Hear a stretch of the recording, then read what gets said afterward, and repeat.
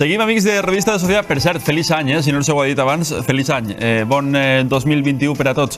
Eh, seguim i ho fem parlant eh, de, de, de somiar, que és un verb que ens encanta a Revista de Societat. Secció Sueños. Dormitienda. No te olvides de soñar. I per a parlar de somiar, en el dia d'avui eh, nos acompaña en el plató de Revista de Sociedad María Cartagena, la psicóloga María Cartagena. María, ¿qué tal? ¿Cómo estás? Hola, buenas, muy bien, gracias. Bienvenida a Revista de Sociedad. Oye, eh, eh, empezamos año y empezamos sección y estrenamos visita. ¿Qué, qué te parece el, el plato? Me encanta, es muy ¿Estás acogedor. ¿Estás cómoda, María? Totalmente, vengo a vivir aquí todo. Sí, Sí. o sea, un, un plato que podríamos decir eh, propicio para soñar. Sí. Muy bien. ¿Qué tipo de sueños existen, María? Pues mira, antes de explicar cuántos, tiempo, cuántos, perdón, cuántos tipos de sueño existen, debemos explicar antes que nuestro sueño se compone de ciclos. De hecho, en una noche normal solemos tener entre 4 o 5 ciclos de sueño. Yo no me suelo acordar de, de- de- de los sueños. Entonces, Sí. no sé si esto interfiere, o sea, si, esto, si los ciclos del sueño interfieren en acordarse de los sueños o no. O, o esto ya lo hablamos después si te he cortado lo que estabas ¿Me has diciendo. cortado? Sí, venga, pues vamos a continuar por donde estabas, por favor. Vale, muy bien. En un ciclo de sueño, ¿vale? Se suelen haber cinco fases de sueño. ¿Por qué explico esto? Porque existen dos tipos de sueño, como hemos dicho. Están de las, las primeras cuatro fases correspondería al sueño REM, perdón, sueño no REM, y la última fase, la quinta, al sueño REM. En ambas fases, en ambas etapas, soñamos. Dentro de- del sueño no REM, en la cuarta fase, que es la, cuarta, la fase más profunda de sueño, Sí. ¿vale? Tenemos el sueño, un sueño que no nos vamos a acordar de ese sueño. ¿De acuerdo? Son-. Es un sueño que nos sirve para descansar, tanto nuestra mente como, nuestra, como nuestro cuerpo. El, el sueño reparador Sí. del, que, del que se habla, que se comenta, el sueño reparador, ¿no? Sí, exactamente. Es el sueño que nos ayuda tanto a reparar nuestras conexiones neuronales como para descansar nuestro cuerpo. En esta, en esta etapa, los sueños que tenemos no vamos a acordarnos de ellos. Suelen ser sueños mm, de escenas cotidianas. Aunque tengamos mucha memoria, mucha memoria, no nos acordamos de estos Exacto, sueños. no tiene nada Bien, que ver. No tiene absolutamente nada que ver. Eh, también suelen ser eso, como- suelen ser escenas cotidianas y lo vivimos más como un pensamiento que como una imagen. De normal solemos soñar en imágenes, pues en este caso no, en este caso serían pensamientos. Y aunque nos despertáramos después de, de haber estado en fase 4, en fase de sueño profundo, no nos acordaríamos de ese sueño. De hecho, suelen ocurrirse aquí los terrores nocturnos de los niños, que se pueden despertar con emoción eh, tipo agobio o miedo, pero no se van a acordar de lo que han soñado. ¿Vale? Sería ese el primer tipo de sueño. Y el otro tipo de sueño se encontraría en fase REM, que son los que sí recordamos. La función de estos sueños es consolidar la memoria y también nos ayudan en el aprendizaje. Además, también cuando somos pequeños es la fase donde desarrollamos el cerebro. Bien, entonces con esto, bueno, hemos hablado de los tipos de sueños Sí. y también de las fases más importantes del, del sueño. ¿no? Exactamente, De sí. alguna forma quedan definidas con, con esta respuesta también. Sí, las fases más importantes serían la fase 4, sueño profundo, como hemos dicho que sería reparadora y de descanso, y la fase REM, que nos ayudaría pues, a consolidar la memoria y es donde esos sueños son los que recordamos. Bien, eh, tenemos un, un conflicto interno en, en la redacción de, de- de Revista de Sociedad porque hay gente que dice que sueña todos los días. Eh, hay gente que dice que no. Es cierto que soñamos todos los días, aunque no podamos recordarlo, María. Exactamente, sí, O sea, soñamos es cierto. y de hecho varias veces durante la noche. María lo confirma. María confirma que sí, Que, que se sueña todos los días. ¿Qué puedo hacer para acordarme? ¿Qué- cu- profundicemos un poquito más en este tema, María. Vale.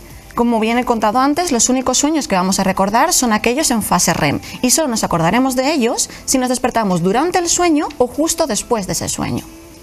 Yo también soy mucho de haberme, o sea, de despertarme y decir, estaba soñando, pero de repente se me olvida. Eh, como, como de repente ya Sí. no me acuerdo. Estaba en ello, pero ya no me acuerdo. Es como cuando vas eh, a la cocina y dices, ¿a qué, a qué había venido yo, no? O sea, te despiertas y dices, estaba soñando, pero, ostras, no me puedo acordar. Sí. Y es, además esto da, da mucha rabia esto. Suele pasar porque los sueños que solemos recordar más son aquellos que nos impactan más emocionalmente. Bien, eh, de los de vus y todo esto, no sé si es harina de otro costal o si... Totalmente, de otro Sí, costal. eso ya- bueno, ya eh, lo hablamos en otro momento. Cuando soñamos, ¿es posible eh, ser conscientes de ello dentro del mismo sueño? Porque, ojo, no te lo vas a creer, pero me ha pasado el decir, eh, no puede, o sea, esto no puede estar pasando. yo creo que estoy soñando y despertarme. ¿Te lo crees? Es posible, Porque claro que sí. ¿eh, María? Claro que sí. De hecho, los sueños, como bien hemos dicho en fase REM, que son los que nos, los que nos acordamos, suelen- solemos estar en una fase muy cerca de la vigilia. Es decir, estamos muy cerca de la consciencia. Ese tipo de sueños que comentas se les llama sueños lúcidos. Y se dice que la población, un 60%, vivirá por lo menos una vez en su vida un sueño lúcido. De hecho, se dice que incluso se puede entrenar y que puedes controlar lo que sueñas. Siempre se va a tener un ligero control en estos sueños o no. Al menos el 60% de la población lo vivirá una vez en la vida. Eso es lo que se dice según los estudios, sí. Eh, Me, me parece muy pocas. A mí esto me ha pasado varias veces. Es ya. que no es lo corriente. no es lo corriente. No es lo corriente. Vaya. Mira, mira qué cosas. El estrés eh, está directamente relacionado con las pesadillas o los malos sueños. Sí, porque cuando nos vamos a dormir estresados o preocupados, lo que hacemos es dormirnos desde una emoción que nos mantiene pues muy tensos, muy en alerta. Por lo tanto, despe- nos despertaremos más durante la noche y tendremos la sensación de que, nos- de que hemos soñado más de lo normal. Además, si lo último que, en lo que pensamos antes de dormir es algo que nos preocupa, habrá muchas posibilidades de que soñemos con respecto a eso o que tengamos una emoción parecida a la que hemos tenido cuando, antes de dormir. Yo creo que nos ha pasado a todos el, el- el caso contrario, el decir voy a pensar muy fuerte, voy a pensar muy intensamente, voy a todo el rato voy a pensar en esto a ver si lo sueño, pero es que también existe algo y es que nuestra mente no entiende de sí ni de no. Es decir, si ahora te digo, no pienses en elefantes rosas, ya estás pensando en elefantes vaya. rosas. He pensado, he pensado. No te voy a engañar, he pensado en elefantes rosas, Sí, María. Porque nuestra mente no sabe diferenciar entre sí y no. Pero sí que sabe diferenciar entre importancia y no importancia. Por lo tanto, yo siempre digo que es como que nuestra mente, lo que, nos- lo que consideramos más importante, aunque sea algo malo para nosotros, lo guarda en, en la mesilla de noche, para tenerlo siempre a mano.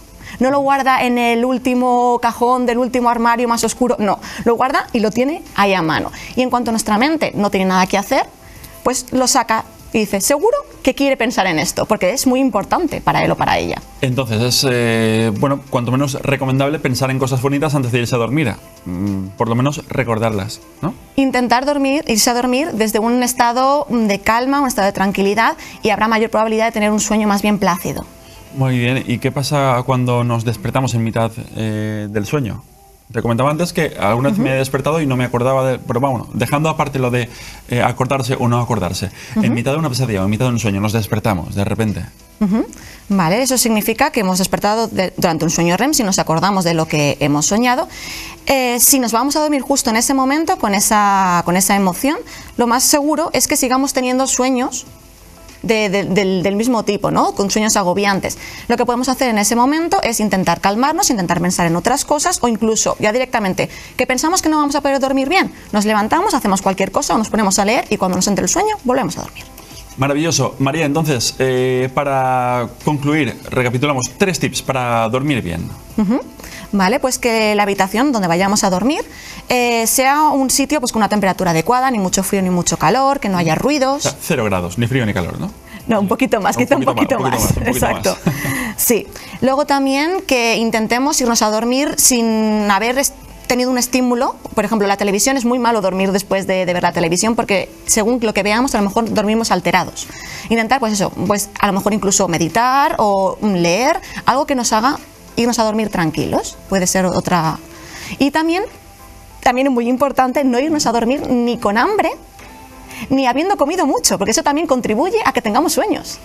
Bueno, pues eh, tot això de, d'ensomiar és, és un món, amics de Revista de Sociedad. Eh, María, muchas gracias por acompañarnos. Muchas Eh, gracias a vosotros. Primera eh, sección sueños de- del año. Así que gracias por, eh, por estos tips también para dormir mejor. A vosotros siempre. Felices eh, sueños este 2021. Igualmente. Amics, fins així la secció sueños, eh, la primera secció sueños de 2021. Dormitienda. No te olvides de soñar.